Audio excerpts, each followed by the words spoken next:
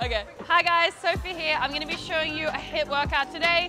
So higher intensity, we're gonna be doing 30 seconds on, 10 seconds rest, and then you're gonna make your way down the line. So to start with, we're gonna be doing kettlebell swings.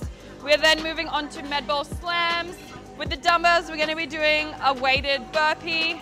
We're doing a snatch with the dumbbell, and then we're gonna do jumping lunges at the end. So you do 30 seconds on each exercise. You have 10 seconds rest to move to your next exercise, 30 seconds again, and then you want to repeat three to four rounds of this from the beginning. So kettlebell swings.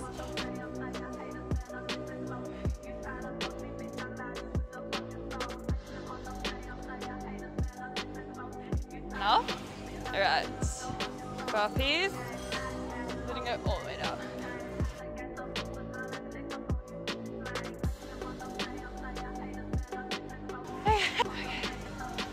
Then just jumping.